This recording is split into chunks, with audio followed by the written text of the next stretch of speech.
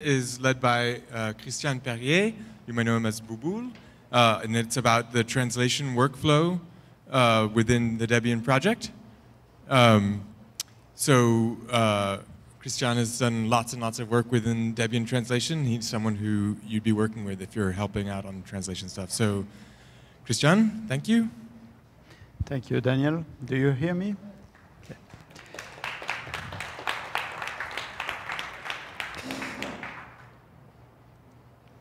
Donc, euh, je vais faire cette présentation en français, après une présentation en espagnol, et avant une présentation par Stefano Zacchiroli en italiano. You have 10 seconds to run out of this room. of course, I do this presentation in English. I can't do it in Spanish. So I do it in broken English, much more easier to understand, I guess. So as Daniel said, I'm involved in uh, localization and translation and all that kind of stuff in Debian for about 10 years. It's 11 years since I'm a Debian developer. I do not only do that in Debian, I also maintain packages. So even if you are labeled as a translator, you can still maintain packages. I used to define myself as a non-technical Debian developer, which means if you are non-technical guy or lady, you can still maintain packages. So this will be about uh, a kind of tutorial. Doing a tutorial in 45 minutes is really difficult, so I go into a few points just to give you an idea and a picture. Uh, some parts of this tutorial, funnily, are about the same than those uh, Fernando Estrada gave yesterday during the Debian Day.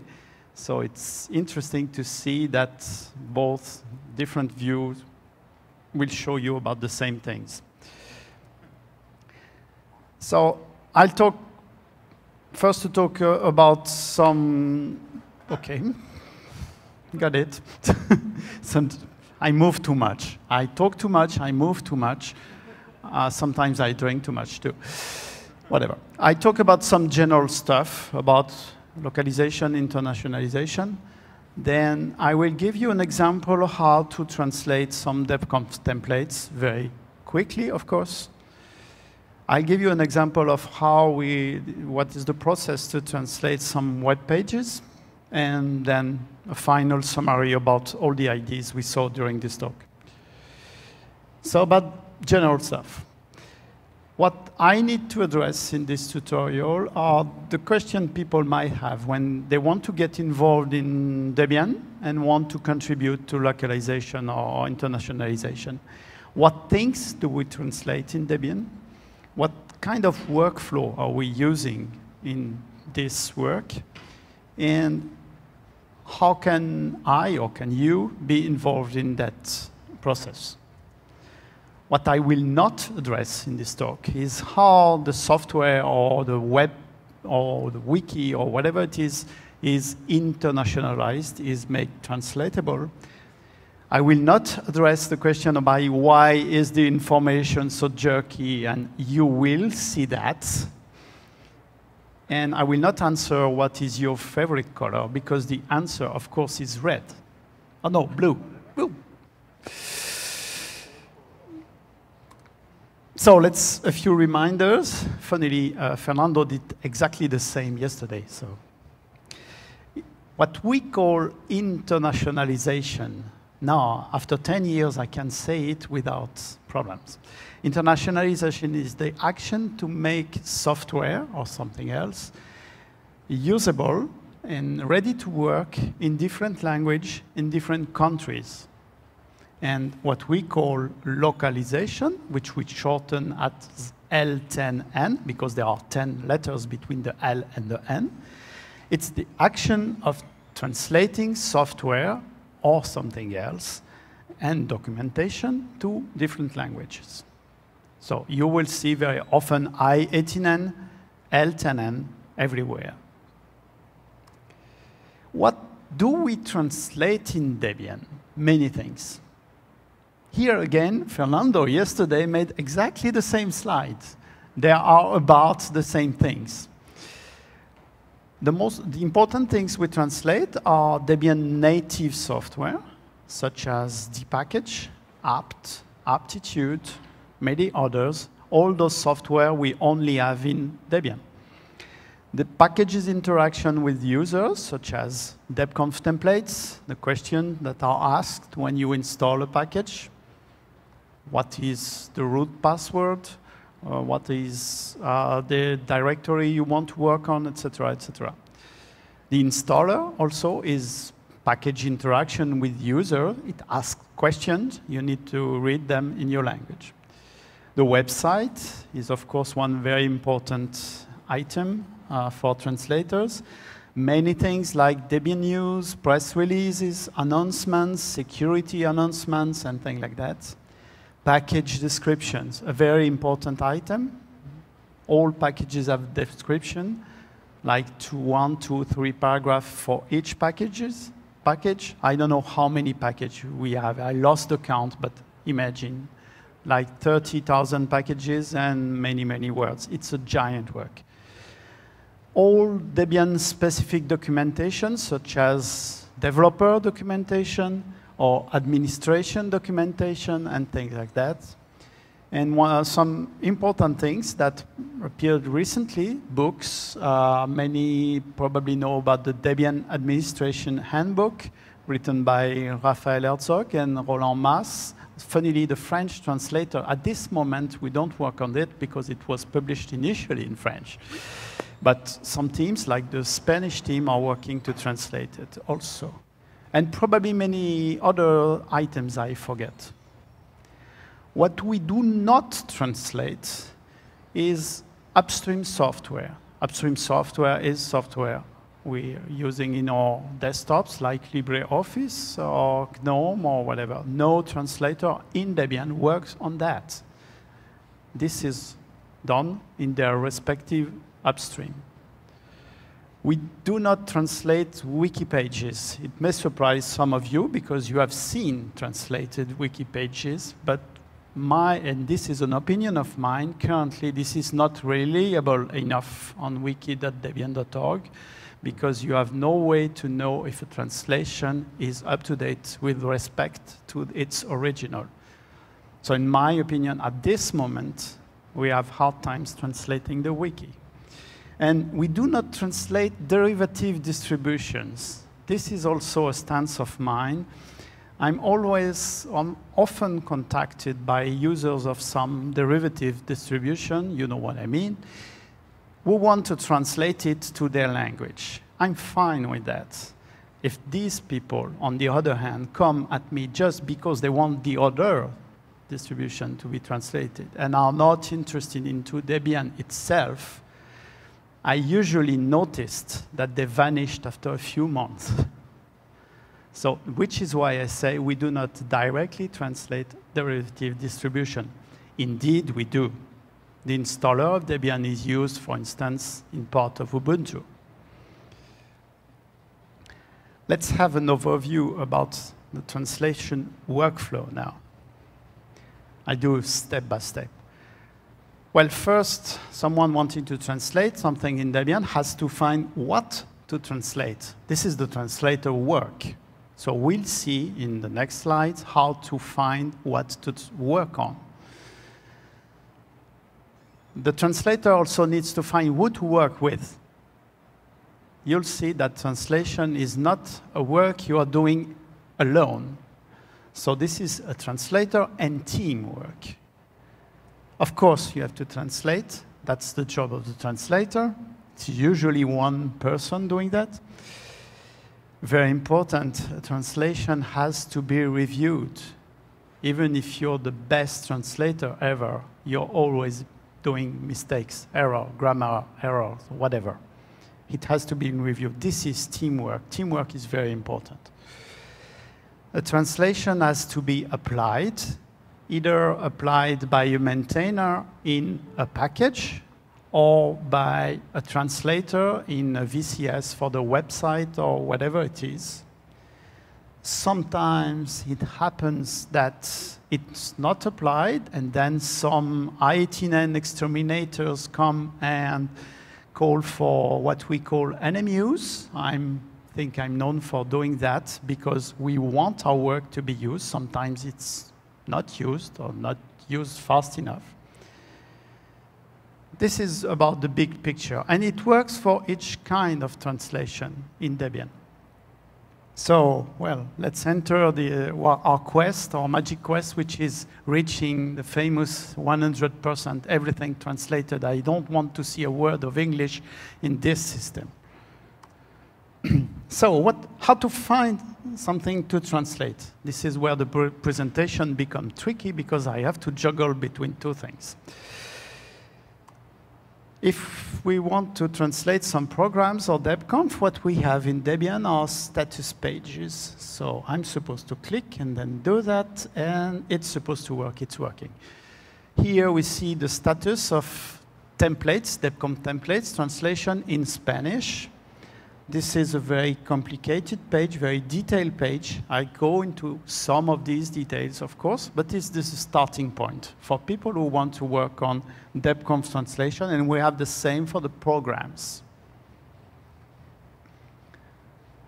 If you want to translate the Debian installer, there is a specific status page, which is here. It looks differently. It doesn't have the website look and feel. I'm sorry for that. It's done on another place. And it has the full detail status. It has links to documentation, etc., etc. if you want to translate the website, there is a specific status page for the website. It looks a little bit differently. Again, this is the website status for Spanish. You see how many files are translated, how many not translated, what is outdated, etc. I'll come back on that. If you want to translate the Debian news or some announcements, there is no central site. Announcements and call for translations happen in the general I18N mailing list. For instance, this is a call uh, made by one of the editors of the Debian Project News to translate uh, 2010 slash uh, 12 slash 12 and then people can click and whatever they want to do and get the material to translate. Or the mailing list for your specific language. There are calls in these mailing lists also, for instance, I pointed to a call for translation of the Debian handbook in the Spanish uh, localization mailing list. If you want to translate the package description, there is a nice things named DDTSS, which means Debian Description Translation System, and I don't know what this final S means. It's a web interface to a thing that's called the DDTP project to translate all descriptions. It's a little bit slower because it runs on a machine lost in Extremadura in Spain, which is quite slow.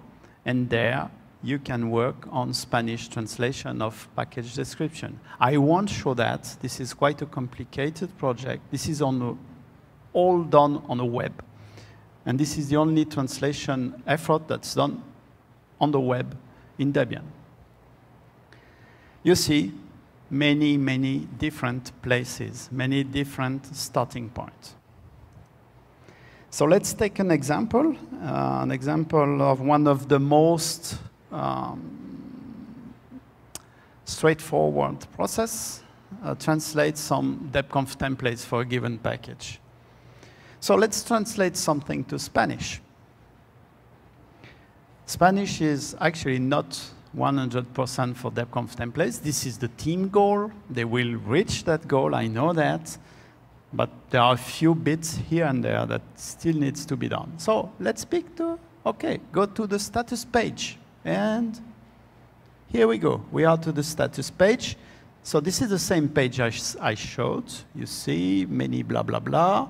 And then packages with PO DebConf support and for which translation is to do. blah, section main. Oh, these Tomoyo tools, not translated. Yeah, I will jump on that. Yeah, Hideki Yamane will be happy because it is his package. And no, I would like to translate this Tomoyo. Don't start now. Don't jump on it because what you need to do is to check if somebody is doing it. So the source for in information uh, for is the Debian L10N Spanish mailing list we, because I wanted to translate to Spanish, and its coordination page. Yes, another status page. Yes, another place to look at. So this kind of things, which is quite well known by people working for a long time in translation work, show you the effort of translation by the Debian L10N Spanish. And basically what I should do is to try to find Tomoyo tools. So let's try to find Tomoyo tools. Tomoyo, Tomoyo, Tomoyo. I said Tomoyo Linux because someone probably made a mistake somewhere. So there's something, and we are in section what it is, ITT, okay, I don't know what it means. It seems that someone named Christian Perrier is working on it, which is strange. There's a link, and this link says okay, I intend to translate, but ignore this mail. This is meant for this talk. So apparently there was someone wanting to work on it. I should not start working on it. Of course, I need someone to really do the work because I won't do the work. I repeat, don't start immediately, interact, and use the mailing list. That's really important. So this translation workflow seems complicated. In, indeed, it's really simple. I will maybe have to move across the line. I don't know. It always starts by something we call translation to do, TAF. It's derived from French because many of the processes have been set by the French team. So TAF means traduction à faire, which means translation to do. So someone sends, okay, TAF, Tomoyo tools. Then someone sends an intent to translate. I want to translate. So it's kind of a reservation of the work. Then the person works on it and at some point has something ready and sends a request for review. And we enter some kind of a loop, review, some reviewers send comments, changes, etc. Another review, etc. And at some point, the original translator thinks, okay, that seems to be ready. I send a last change for comments mail, still to the mailing list. And once done, after some time, I send a bug report this is a debconf template for a package, so translations should be sent as a bug report. And then at some point, the maintainer uploads the package, fixes the bug, and the, the translation is done. And if there are changes, we go back to starting point, and we go again and again and again. Seems complicated. Actually, it's used by about 10 different uh, teams, including those teams that are only one single person or one or two single person, because it helps tracking the work. So let's really start. Now we are reading. I said, hi TT, yes, I will translate Tomoyo. So I send my ITT mail. So let's go. I send my mail. I done. No other Spanish translator will work on that. And I need to get the translation material, of course. So I'm back to the status pages where I was. Or I try to go there. OK. I click here. I get a list. OK. So I have to know this is here that I have to click, because if I click there, that won't work. I go to the BTS. If I click there, I have something completely useless and this is what I need. I get a file, I save the file, somewhere in my TMP uh, directory, and then, okay. I go to TMP. Is that big enough? Is that visible enough? Okay. I unzip because the file was zipped. And we have a bug on the current server, so actually the files are zipped twice, just to be sure they are very, very, very compressed. Now that's a bug. And I unzip again. I rename this file as es.po because I work for Spanish translation. So stop, let's review. I get the PO file. I put in a work directory. I personally use a directory for each package. I unzip, I rename as es.po or uh, sv.po if I'm a Swedish translator or fr.po, whatever. I never use country modificators, no es underscore NE for Nicaragua or whatever, never. Particularly for debconf templates. So I have a PO file. What is a PO file? This is this, kind of uh, we'll use in VI. It's, okay, it has a header, some things that say, okay, the last translator is this person, language team that person, blah, blah, blah, and messages to translate. I can do my work in VI.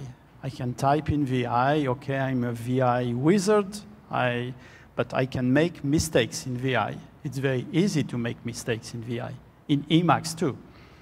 Okay, so that will not be my recommendation. I prefer recommending using dedicated tool. There are many. I picked examples, Lokalize, most often used by KDE users. POEdit is a GTK-based uh, PO editor, gtranslator. I'm not really sure if it's still well maintained. Or the VI PO mode, the one I was using.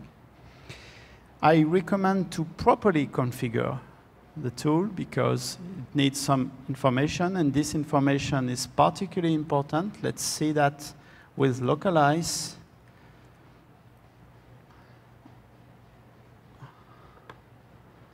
For you, especially, I made my KDE environment speak in English, so you're happy.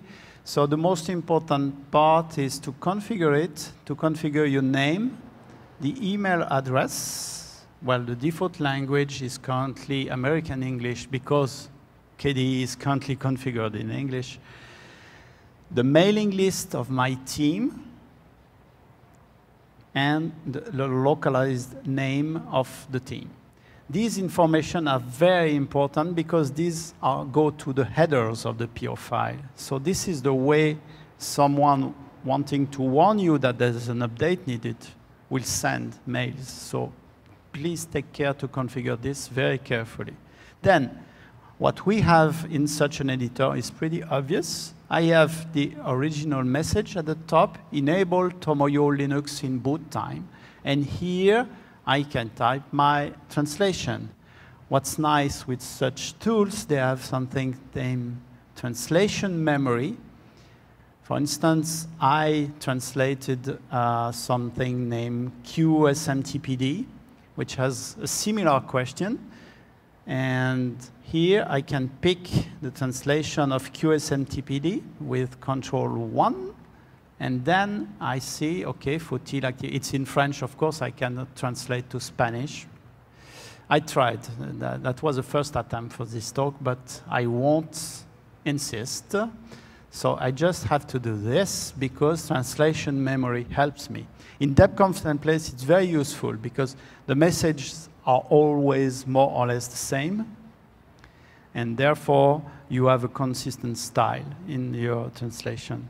So this is why I recommend to use such tools and probably less uh, VI or standard editors because of such facilities.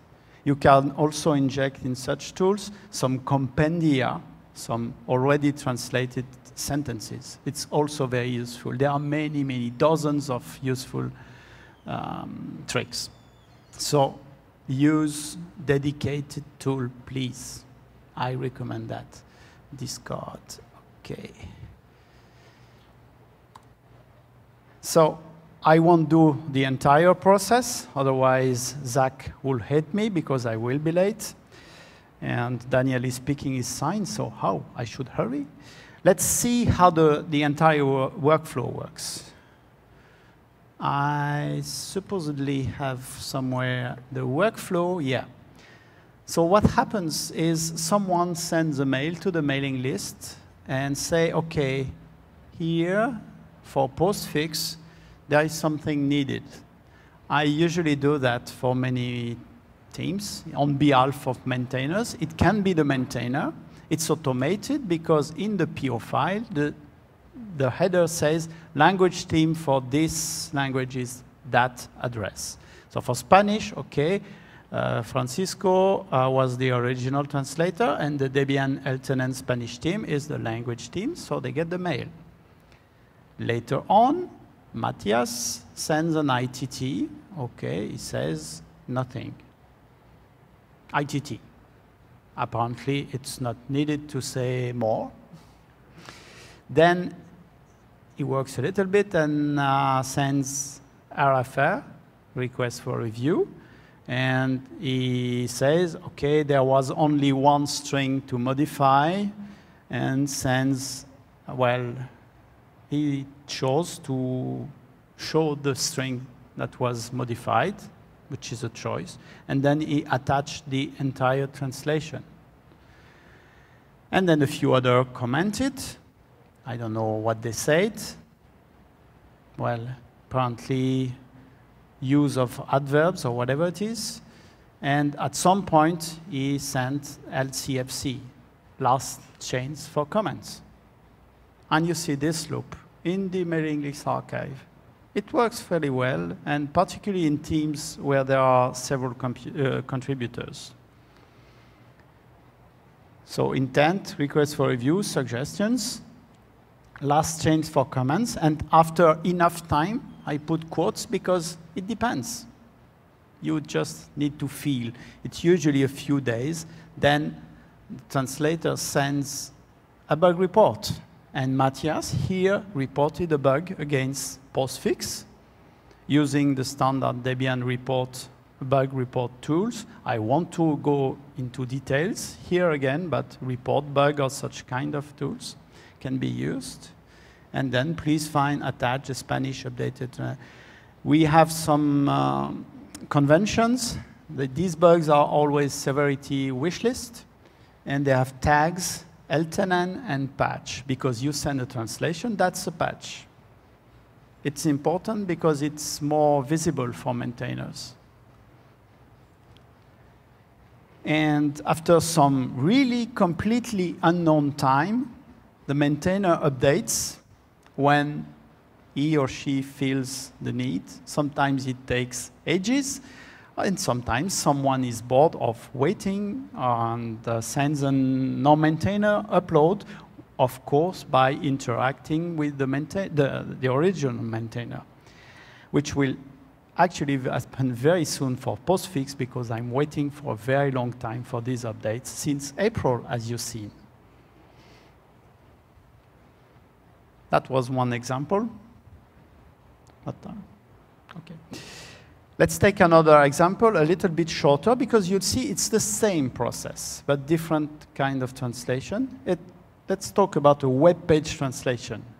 To be honest, web page translation is not something I do very often, so I learned a little bit beforehand with my friend David, who is sitting around there and who is the wizard of the French translation of web pages as well as the wizard of the Debian websites. So this is completely different. The website isn't using PO file, isn't using gettext. The website uses WML files, so you have the original English and the translation is the same one, but with Spanish or French or whatever words. It has no fancy VCS. It will probably the, be the very, very last bit of Debian that uses CVS, and there are very good reasons for that.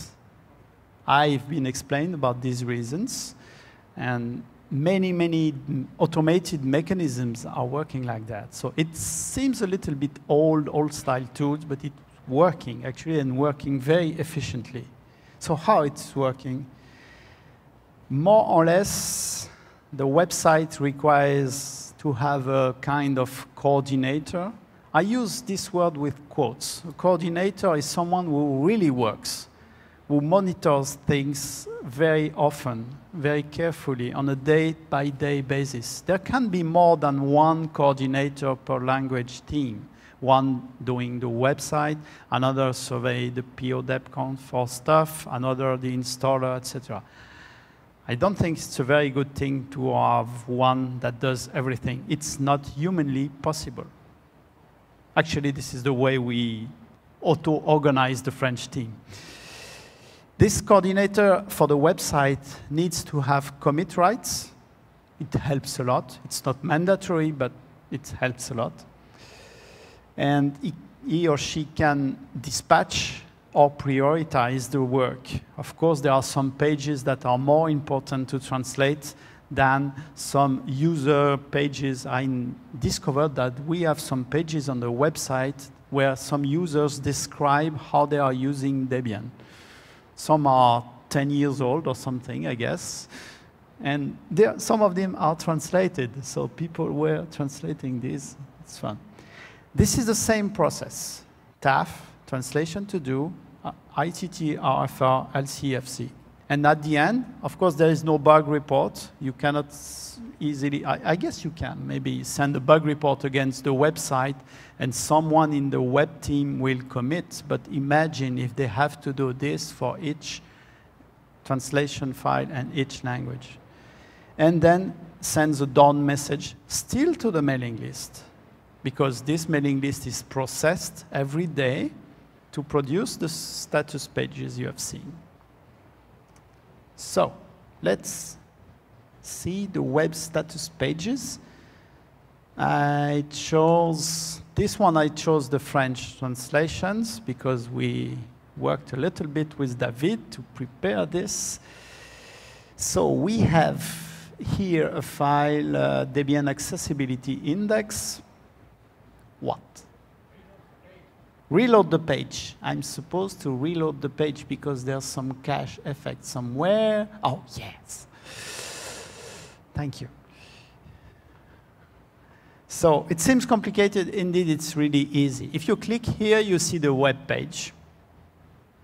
If you click there, you will see the diff between the version that is translated and the new version. This page is outdated. The French version is based on version 1.10, while the current version is 1.11. Even you can stay here, there is some JavaScript, you need JavaScript, ah, and click, and you see there is one line added. Okay, Hosa, that's an easy stuff. I can do it easily. There are no 200,000 lines, so that's an easy work. I can view the file, the WML file, or I can, whatever it is, I think I see the CVS log or something. So let's view the file, for instance. OK, this is the file. And the diff, of course, applies to this file. Here, I think I can download this file. So this is the place where I click, and then I get the file to update. I'll save it. Yes, index. OK. Yeah. And, but I see this gentleman here said, OK, there is work to do. To do. TAF, the same thing. So he probably sent to the French mailing list. Let's see. Yeah, TAF, WML. It's very encoded. You, there's a syntax for all this which says, okay, this is a TAF, this is for WML style files, for Devel, Debian accessibility, blah, blah, blah. And he says, okay, this is a fake file, but he messed up. This apparently the second one. Yeah, you made well. but that, that works. So as you see, if I'm only reading the mailing list, I say, okay, there's something to do. I go to the web pages, uh, where it is, probably here, yeah. And I can download, which I did, and I can, well, I can use, here I need to use my editor, and then I edit the con file. It's a 1.10. I need to do the needed changes, work with the diff, add what's needed, change what's needed, etc. And then I save, and I send, and I enter again this loop, RFR, etc., etc. I won't do that because that would be a little bit long, but I guess you see the point. And we enter that loop, and at the end, the coordinator, probably David for the French, uh, the French team, will commit the file. So it was shortened a little bit, but you, guess the, you get the points. So after reaching that point in my preparation talk, I said, what did I say in this talk? What have these people see? Let's summarize. We have processes they work. They are very rock solid. They are work for 10 or 15 years for some of them. The information is very, very disorganized. I can say, oh, how, look, it's fancy. You have only one place you click. No, it's completely disorganized. It works, but disorganized. We don't have any point and click translation system. Some website where you just go and you translate online and whatever you want to do, you see what I mean. So we have some work in, in progress to automate this. Most of this, status pages, etc., is based on the work that has been done in 2005, 2006 in Extremadura on a machine that was hosted in Extremadura. We are currently moving this to i18n.debian.org, an official machine administered by the Debian system administrators, because this infrastructure is very important. This is where you get the package description translation. If it stops working, the, there are no more translation for the packages. So we are currently moving that. I, actually, some places where I clicked, I just, so we just switched this week during DebCamp from one machine to another. We need to centralize this information, this material source, and we need something. The problem is this information is not centralized at all. The DebConf templates, they are in each and every package. Some packages use Git, some use SVN, some don't use any VCS at all. The installer is in Git, but some parts of the installer is, are in SVN. The website is in uh, CVS, etc. You, you see the point. So that's not completely trivial. And we need also to lower the entry barrier. We know what I described is complicated to learn.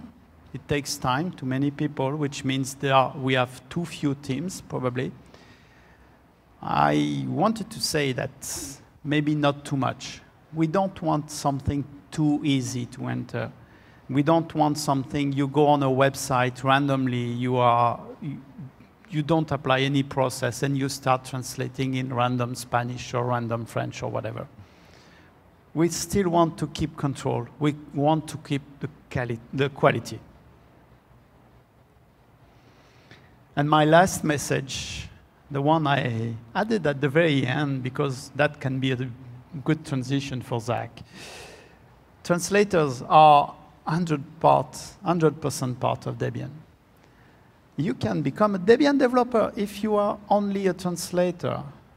We have this status of non-uploading Debian developer who has access to Debian machines, which is very important for the work of many of us. You can vote. I checked beforehand, I wasn't sure, but you can be the DPL. You are no longer second-class citizens in some way. We only have five people like this in the overall Debian, out of hundreds of Debian developers. That's something is going wrong, but this is a recent status. So I would like to encourage those people who contribute regularly on translation work to enter this process. This is not scary. This is not a, such a difficult process. And do it, do it. We need that kind of contributors also. And if you have questions, you can ask questions. If you don't, you can look at these Nicaraguayan landscapes. Hi, Christian. Congratulations for your presentation. I like you very much, and thank you for have you been clear. And I have the dude in in the PO-debconf um, website uh, where the names of the responsibles, um, the percentage uh, indicators. Um, I want to ask you if you can explain faster the. Um, you want you want me to go back to the I have now I have many pages open, so it will be tricky, but I can try. Yeah. You mentioned in that yeah, place the, the score, the and the for example, the percentage? Yeah, I, I, can, I can explain this part, of course. I, I went only to that part. These are untranslated uh, packages, packages with completely untranslated PO-debconf templates. Here we have partially translated packages. They are red when the percentage is very low and up to green when the percentage is quite high. The translator name is here. You can get the file here. And the, the other name is the name of the person who sent the request for review. So these pages also show you where are these packages. So if I, for instance, if I want to pick something, uh, an incomplete package which I would like to complete, I shouldn't pick something that's already done, such as these ones but maybe I should pick sysvinit because, well, there is a translator, so if I want to pick that, I first need to contact that person. I shouldn't take over a translator's work without asking him or her if he agrees with me taking over. So there are many names, but these are the responsible and person in charge names. I hope this answers your yeah, question. Thank you.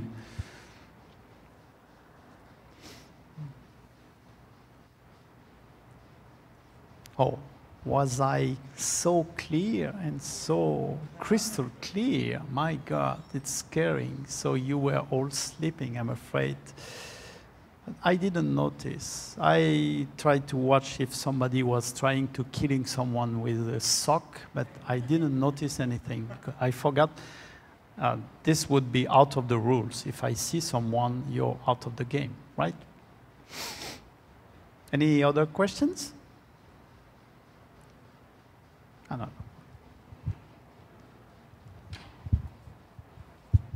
Hi, um, thank you very much for your presentation.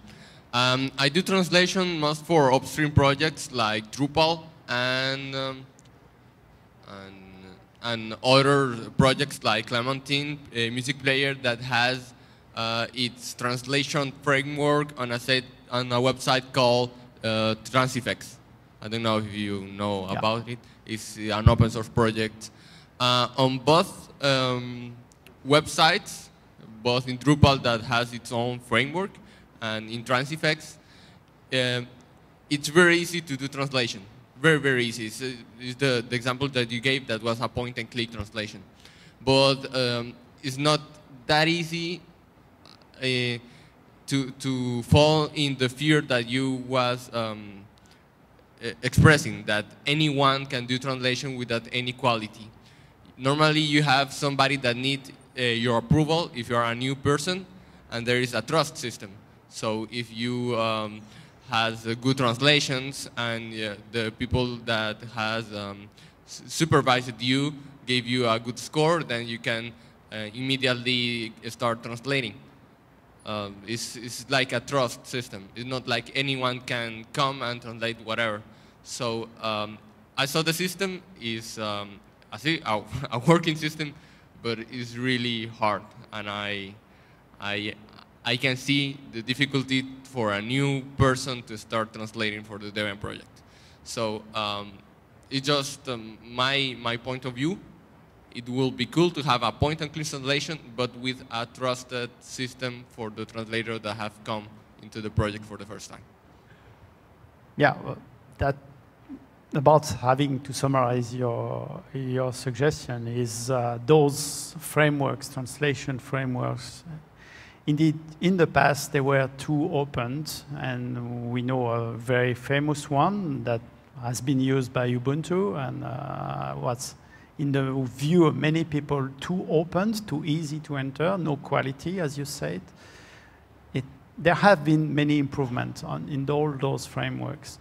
The problem we have in Debian currently, mostly, as many things in Debian, things don't happen just because someone wants them to happen. Sure. They, they happen because someone does the work. S and also, the work is very difficult because of this very widespread information. Um, so we are considering that. We are considering, we are not considering to use Transifex for some different reasons.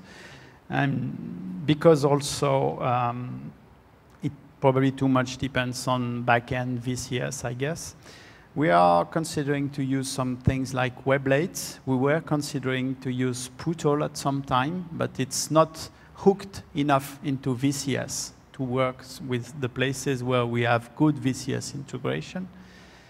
So we're considering, for instance, to work more probably with Weblate, also because Weblate Outer happened to work in the past with Debian, so it's, it's more useful. So there is no rule against frameworks. Just needs to happen. That needs someone to start. And we first needed to have a rock solid machine for that. And still, we want to keep this process, this control. It's slow, it's clumsy, it sounds a little bit old to work in mailing list, but I can tell you it works. Thank you very much. Okay, thank you, Christian. Um, in about 15 minutes, we should have uh, bits from the DPL coming up from uh, Stefano Zacchiroli. So stick He left. around. I scared him, I think. He He'll be back. So I can talk on his behalf in Italian, maybe if you want. Okay. So thank you for your attention and um, for your interest in localization and translation.